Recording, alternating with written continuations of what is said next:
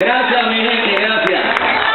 Más que un honor, una contentura tremenda de poder estar aquí nuevamente en Tampa, donde siempre que vengo, mi gente, especialmente mi gente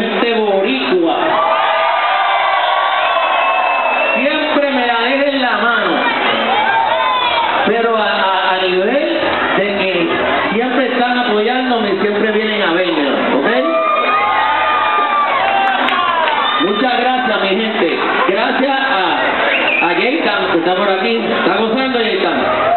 Y está este, Javier está por ahí también.